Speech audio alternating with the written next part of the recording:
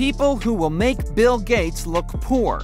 Hi, welcome back to this channel. We would like to say a big thank you to all of you who have stuck with us through all this time. And if you're new, congratulations, you're in the right place. Today's video is going to be an interesting one as we are going to be talking about those insanely rich people that we had no idea about. When we talk about the richest people in the world, automatically Bill Gates is among the first people that comes to our minds. That is because that's what we have heard all of our lives. We all know that Bill Gates always ranks number one with a net worth of $80 billion. dollars, But what about the others? For reasons like secrecy or criminality, Forbes does not publish a lot of people. So we did our research, and now we are going to be looking at people who actually make Bill Gates look poor. These are people you may or may not know about. Before we proceed, for the ones new to our channel, you see that red button on your screen? Yeah, the one that reads subscribe? Yes, please click on it and turn on the notifications too. Thank you so much. Now, without further ado, let's get started. Kim Jong un, $170 billion. First, we have Kim Jong un. This one may come as a surprise to a lot of you.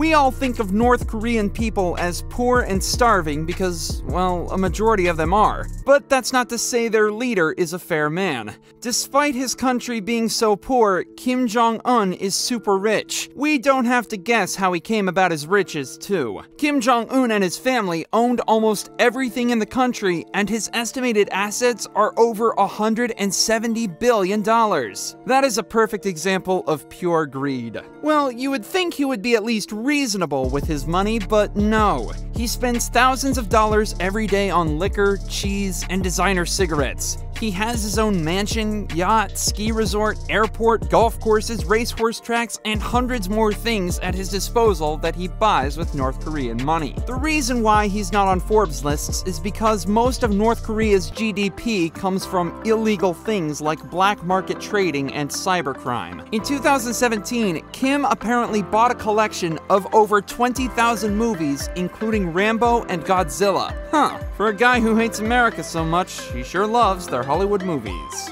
Rothschild, $2 trillion.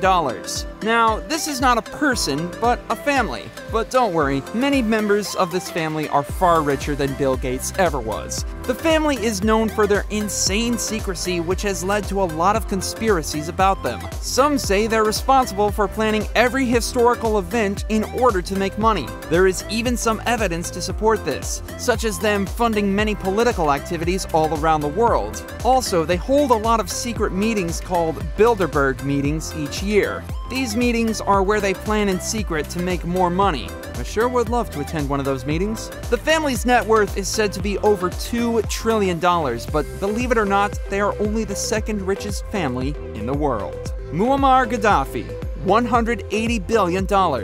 Next on this list, we have Gaddafi. Before he was overthrown from his country, this guy was the evil leader of Libya. I'm sure many of us that follow the news have probably heard about him. He has a lot of money, which is all thanks to his corruption. This man was known for his mansions, his huge boats, and his infamous golden gun. Gaddafi was parodied in the Sacha Baron Cohen's movie, The Dictator, about a rich dictator who is crazy. Gaddafi was a man worth around $180 billion in 2011, and this was not exactly hard for him, especially because he was in charge of the entire country. Although he is now long gone and his family does have some of his wealth, billions of Gaddafi's dollars are still missing.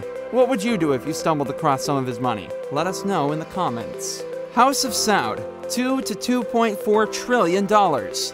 We still haven't gotten to the richest person in the world, but we have previously looked at the world's second richest family, the ones with the secret meetings. Well, here is the world's richest family, the House of Saud. This is the royal family of Saudi Arabia, which is known for being crazy rich, thanks to all of its oil and gas. As we all know, oil is crazy expensive. Just think about the last time you had to fill up your car. Now, imagine if you actually owned and controlled a lot of that. Well, that's times millions for a few barrels of the stuff that's going into this family's pockets. Their wealth is very secretive, and they don't like anyone knowing how much they really have, which explains why they're not on any Forbes lists. But family net worth is likely in the range of 2 to 2.4 trillion dollars. Despite them being secret about their figures, they spend money lavishly on land mansions and supercars. Oh, how I wish I could find my own fountain of oil.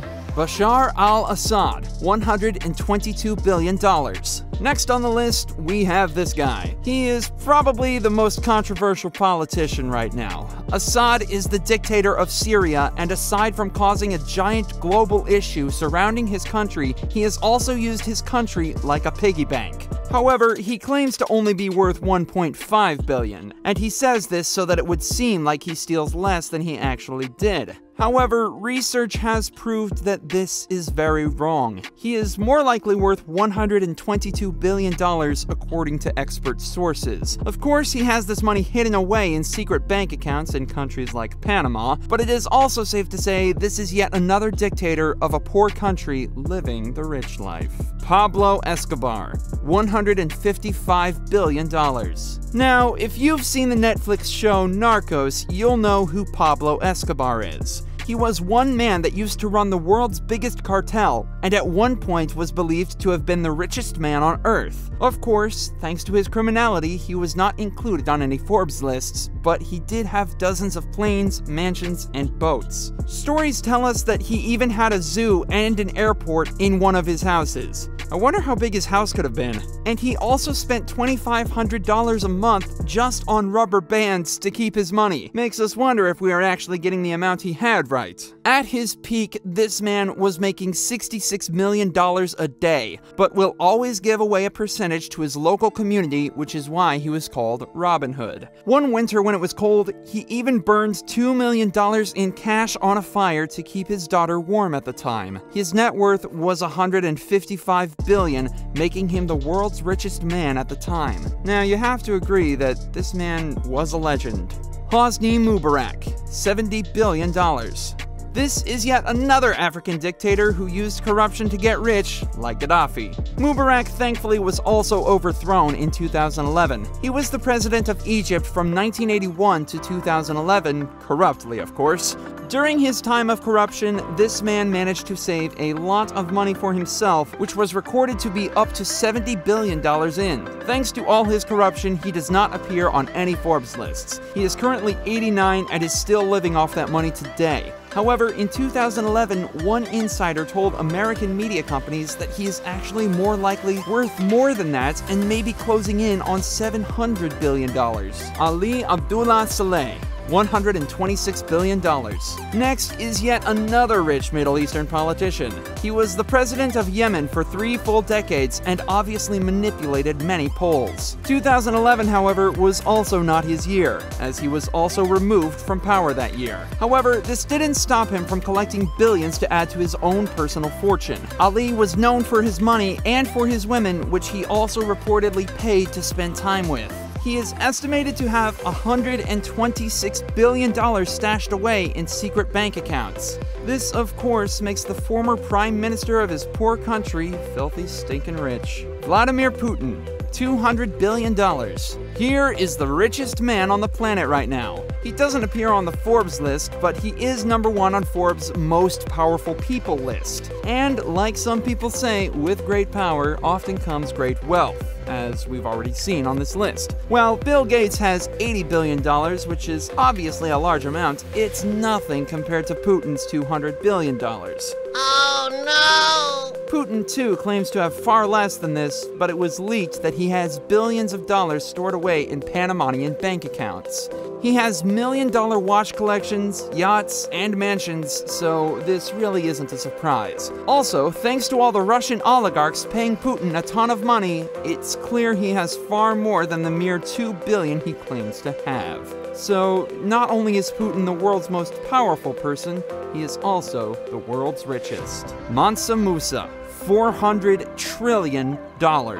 Last and obviously not least, we have Mansa Musa. So, we just covered the richest man in the world right now, but we're not done. There is one more now, although this guy isn't alive anymore, but even in his death, he still remains the richest person of all time. He had a net worth of over $400 trillion. He was the Sultan of the West African Empire that was massive. As a result, he pretty much owned the entirety of West Africa, which has a lot of land and resources. Sultans were at the time also treated like kings. Being the ruler of his Malian Empire, which covered modern day Ghana, Mali in West Africa, and Timbuktu, his wealth came from the production of salt and gold at that time when gold was in extremely high demand. During his reign, also, massive mosques were built and they still stand today. According to Rudolph Ware, who is an associate professor of history, there are pictures of Mansa Musa in which he held a scepter of gold on a throne of gold, holding a cup of gold with a golden crown on his head. He was so rich that people often struggled to describe his wealth. That brings us to a close for today. This is our list of the richest people who actually exist or existed. Now, give us your thoughts on this. Was there any person on this list that was an actual surprise to you? How would you spend your money if you were as rich as Mansa Musa? Do you think wealth should be obtained by any means and at the expense of others? Share your opinions down in the comments, and don't forget to like this video and share if you enjoyed it. Thanks for watching, and have an excellent day.